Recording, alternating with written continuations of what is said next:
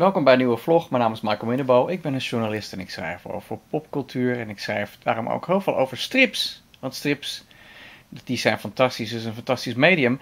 En ik krijg ook geregeld van uitgevers daarom uh, wat beeldverhalen opgestuurd. Zoals uh, deze van Agent 327, Hulde aan de Jarigen. En uh, dat is een heel bijzonder album namelijk. dit zijn verhalen die eerst in Eppo waren voorgepubliceerd.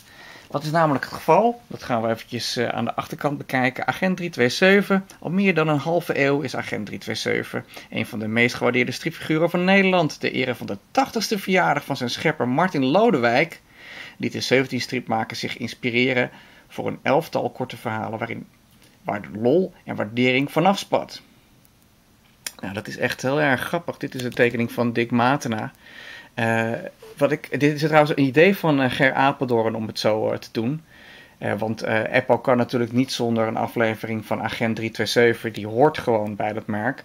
Maar nieuwe verhalen van Martin laten nog wel eens op zich wachten. Dus dit is een fantastische oplossing om Agent in de Apple te hebben. En wat ik vooral heel erg leuk vind, kijk hier staan alle dossiers op een rij. Dus je hebt um, Bruno de Rover en Romano Molenaar. En dan dossier Schoon Schip is van Douwe Stijnoord en Rob Derks. Deze fantastische, de navel van Matenasi, is van Erik Heuvel en Paul Teng.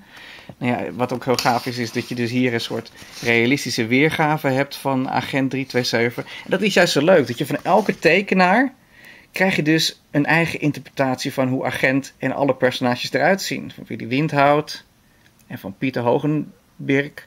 En die is ook weer een verhaal van Hercules trouwens. En dan Gerard Lever en Kees de Boer, die aan de slag waren met 327. Daan Jippes. En dat is echt gewoon heel erg leuk om te zien. Hanko Kolks, agent 327. Ik hoop dat je het een beetje kunt zien zo. Hajo de Reiger. En dan Robert van der Kroft met een verhaal van Tom Roep. En Dick Matena, die dit verhaal heeft uh, getekend. Die kan je wel gelijk even laten zien. Dat ziet er zo uit. Eigenlijk een beetje flat ziet het eruit helaas. Deze is een beetje slecht gereproduceerd heb ik het idee. Uh, maar goed, dat even tezijde. Het is echt heel leuk om al die interpretaties van Agent te zien. Vond ik. Zo hier hebben we Willem Holleder. Of tenminste, Agent 327 komt natuurlijk wat incognito op zijn werk. Ik zal even dat papiertje weghalen. Dan kun je het even beter zien. En uh, dit is die van Hanko Kolk. Dus dat is gewoon heel erg leuk. Het zijn leuke verhalen. En het is dus heel erg leuk om die verschillende interpretaties te zien van uh, 327. Nou, deze vond ik ook fantastisch om even te laten zien nog een keer van uh, Paul Teng. Gewoon hoe die agent tekent in een realistische stijl. Het is gewoon uh, echt heel erg leuk. Het is echt jammer dat Olga hier niet in voorkomt. Maar goed, je kan niet alles hebben. Um, en wat ik ook fantastisch vind is deze van Romano Molenaar natuurlijk.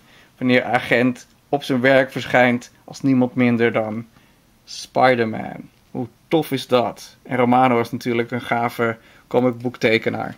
Dus die kan dat heel goed. En zo ziet zijn Olga eruit. Ook niet verkeerd mensen, ook niet verkeerd.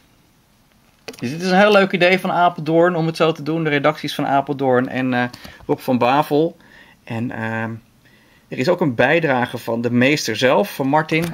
En dat is namelijk de cover. laat ik hier even al zijn glorie zien. Zo. Martin heeft de cover bijgedragen aan uh, deze aflevering. Is erg leuk, ligt nu in de winkel. En wat ook in de winkel ligt, is uh, Safe Haven van Fred de Heij. Een nieuwe thriller verhaal, een, een nieuw pulpverhaal eigenlijk. Met uh, een spectaculaire achterkant en twee stoere dames. Die uh, veel actie en uh, oh, ja, rotzooi veroorzaken eigenlijk. En um, ik kan er wel iets van laten zien. Want het is typisch Fred. Dus veel bloed. Weinig zaad dit keer, maar wel veel bloedspatten en, en geknal eigenlijk. Maar wat dit album leuk maakt, zijn de extra's. Dat is onder andere een extra verhaal. Ik zal het even hier laten zien. Een interview van Pulpman en een van de hoofdrolspeelsters. Dat is heel grappig, vind ik. Ik mis Pulpman wel. En het duurt volgens mij nog heel lang voordat er weer een Pulpman special uit gaat komen. Maar dit is echt typisch uh, Fred dat hij echt een beetje de draak steekt met, uh, nou, met van alles eigenlijk. Maar ook met het genre van interviewen. Dus dat vind ik erg leuk. En uh, ja, Isa Lokers heet ze. En er zit een extra verhaal in. Wat eigenlijk uh, een beetje schetsmatig nog steeds is. Een bonusverhaal. Dit dan niet natuurlijk. Uh, dit is wel heel gaaf weer, de titelpagina. Maar als je dan goed kijkt, dit is echt wel een soort met een snelle toets op papier gezet. Wat ik ook wel weer erg leuk vind om te zien eigenlijk. Want dat is extra levendig. Dus um, erg leuk om dit soort dingen te lezen. En ik hou erg van het uh, semi-realistische werk van Fred. En ik hou erg van Pulp.